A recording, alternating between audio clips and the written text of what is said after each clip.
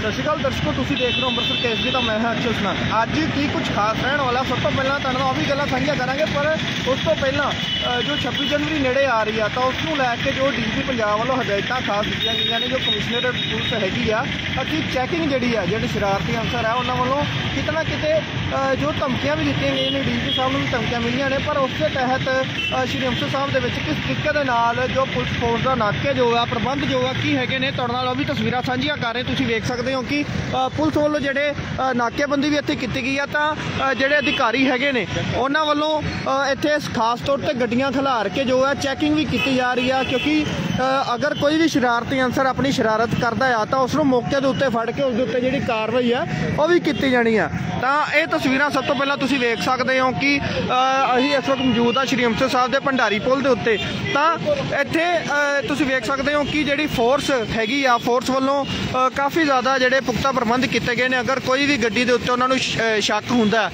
ਤਾਂ ਉਸ ਨੂੰ ਖਿਲਾਰ ਕੇ ਉਸ ਦੀ ਡਿੱਕੀ ਵਗੈਰਾ ਚੈੱਕ ਕਰਕੇ ਉਹਨਾਂ ਵਿਅਕਤੀਆਂ ਬਾਰੇ ਪੁੱਛ ਕੇ। ਤਾਂ ਇੱਕ ਇੱਕ ਸਪੈਸ਼ਲ ਇਹਨਾਂ ਕੋਲੋਂ ਐਪ ਵੀ ਹੁੰਦੀ ਆ, ਤੁਹਾਡੇ ਨਾਲ ਵੀ ਆਪਾਂ ਜਾਣਕਾਰੀ ਸਾਂਝੀ ਕਰ ਦਈਏ ਕਿ ਉਸ ਐਪ ਦੇ ਵਿੱਚ ਉਸ ਵਿਅਕਤੀ ਦਾ ਪ੍ਰੋਫਾਈਲ ਭਰ ਕੇ ਤਾਂ ਪਤਾ ਲੱਗ ਜਾਂਦਾ ਕਿ ਅਗਰ ਇਹ ਕੋਈ ਸ਼ਰਾਰਤੀ ਅਨਸਰ ਹੈਗਾ ਆ। ਅਗਰ ਇਸ ਦੇ ਉੱਤੇ ਕੋਈ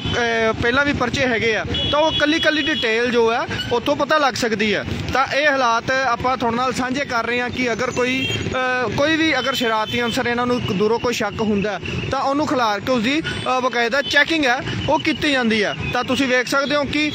ਜੋ ਹਾਲ ਦੀ ਘੜੀ- ਹਾਲਾਂਕਿ ਜੇ ਗੱਲ ਕਰ ਲਈਏ ਕਿ ਗੱਡੀਆਂ ਦੇ ਨਾਲ ਨਾਲ ਜੇਕਰ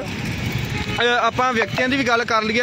ਪੁਲਿਸ ਜੇ ਜਿਸ ਤਰੀਕੇ ਨਾਲ ਤੁਸੀਂ ਵੇਖ ਸਕਦੇ ਹੋ ਕਿ ਹਾਲਾਂਕਿ ਟੂ ਵੀਲਰ ਦੇ ਉੱਤੇ ਜੇ ਨੌਜਵਾਨ ਇਹ ਆ ਰਿਹਾ ਸੀਗਾ, ਤਾਂ ਇਹਨਾਂ ਨੂੰ ਵੀ ਜਿਹੜੀ ਬੈਗ ਤੱਕ ਦੀ ਚੈਕਿੰਗ ਜੋ ਆ ਉਹ ਹੁਣ ਸ਼ੁਰੂ ਕਰ ਦਿੱਤੀ ਗਈ ਆ। ਜਿਸ ਜਿਸ ਜਿਸ ਤਰੀਕੇ ਦੇ ਨਾਲ ਅ, 26 ਜਨਵਰੀ ਜੋ ਨੇੜੇ ਆ ਰਹੀ ਆ ਤਾਂ ਉਸੇ ਤਰੀਕੇ ਨਾਲ ਜੋ ਚੈਕਿੰਗ ਆ ਉਹ ਕਾਫੀ ਜ਼ਿਆਦਾ ਜਿਹੜੀ ਆ ਕੀਤੀ ਜਾ ਰਹੀ ਆ। ਤਾਂ ਇਹ ਤੁਸੀਂ ਵੇਖ ਸਕਦੇ ਹੋ ਕਿ ਐਸਐਚਓ ਸਾਹਿਬਾਨ ਖੁਦ ਜੋ ਨਾਕਿਆਂ ਦੇ ਉੱਤੇ ਤੈਨਾਤ ਹੋ ਕੇ ਤਾਂ ਇਸ ਪੂਰੇ ਸ਼ਹਿਰ ਦੇ ਵਿੱਚ ਜਿਹੜੇ ਪੁਖਤਾ ਪ੍ਰਬੰਧ ਕਰਦੇ ਹੋਏ ਦਿਖਾਈ ਦੇ ਰਹੇ ਨੇ। ਤਾਂ ਇਹ ਤਸਵੀਰਾਂ ਤੁਹਾਡੇ ਨਾਲ ਖਾਸ ਤੌਰ ਤੇ ਸਾਂਝੀਆਂ ਕਰ ਰਹੇ ਹਾਂ। ਤਾਂ ਤੁਸੀਂ ਵੇਖ ਸਕਦੇ ਹੋ ਕਿ ਕਿਸ ਤਰੀਕੇ ਦੇ ਨਾਲ ਜੋ ਚੈਕਿੰਗ ਹੈ ਉਹ ਇੱਥੇ ਕੀਤੀ ਜਾ ਰਹੀ ਆ। ਤੇ ਹਾਲਾਂਕਿ ਜੇਕਰ ਗੱਲ ਕਰ ਲਈਏ ਪੂਰੇ ਸ਼ਹਿਰ ਦੀ ਤਾਂ ਕਾਫੀ ਚੈਲੰਜ ਜਦੋਂ ਹੋ ਜਾਂਦਾ ਜਦੋਂ ਕਿ ਅ, ਸੰਗਤ ਕਿਤਨਾ ਕਿਤੇ ਸੱਚਖੰਡ ਸ੍ਰੀ ਹਰਮੰਦਰ ਸਾਹਿਬ ਲਈ ਇੱਥੇ ਪਹੁੰਚਦੀ ਹੈ ਤਾਂ ਉਹਨਾਂ ਸੰਗਤਾਂ ਦੇ ਵਿੱਚ ਕੋਈ ਸ਼ਰਾਰਤੀ ਅਨਸਰ ਨਾ ਹੋਵੇ ਤਾਂ ਇਹ ਚੀਜ਼ ਦੇ ਉੱਤੇ ਕਾਫੀ ਜੋ ਪੁਖਤਾ ਪ੍ਰਬੰਧ ਆ ਪੁਲਿਸ ਵੱਲੋਂ ਕੀਤੇ ਗਏ ਨੇ। ਅਗਰ ਕਿਸੇ ਦੀ ਭਾਵਨਾ ਆਹਤ ਨਾ ਹੋਵੇ ਇਹ ਚੀਜ਼ ਦਾ ਵੀ ਖਾਸ ਤੌਰ ਤੇ ਧਿਆਨ ਦਿੱਤਾ ਜਾ ਰਿਹਾ। ਤਾਂ ਇਹ ਤੁਸੀਂ ਵੇਖ ਸਕਦੇ ਹੋ ਕਿ ਕੱਲੀ ਚੈਕਿੰਗ ਹੀ ਨਹੀਂ ਨਾਲ ਦੀ ਨਾਲ ਜੋ ਅਗਰ ਕੋਈ ਰਾਹ ਭਟਕਦਾ ਵੀ ਆ ਤਾਂ ਉਹਨੂੰ ਵੀ ਕਿਤਨਾ ਕਿਤੇ ਸਮਝਾਉਂਦੀ ਪੁਲਿਸ ਦਿਖਾਈ ਦੇ ਰਹੀ ਹੈ ਤੇ ਅਫਸਰ ਸਾਡੇ ਨਾਲ ਮੌਜੂਦ ਹੈ ਗੱਲ ਕਰਾਂਗੇ। ਜੀ ਸਰ ਜਿਸ ਤਰੀਕੇ ਦੇ ਨਾਲ ਅ, 26 ਜਨਵਰੀ ਨੇੜੇ ਆ ਰਹੀ ਆ ਤਾਂ ਚੈਕਿੰਗ ਦੇ ਕੀ ਪੁਖਤਾ ਪ੍ਰਬੰਧ ਹੈਗੇ ਨੇ? ਚੈਕਿੰਗ ਦੇ ਪੂਰੇ ਪੁਖਤਾ ਪ੍ਰਬੰਧ ਨੇ ਜੀ ਮਾਨਯੋਗ ਸੀਪੀ ਸਾਹਿਬ ਦੀਆਂ ਹਦਾਇਤਾਂ ਨੇ ਸਾਨੂੰ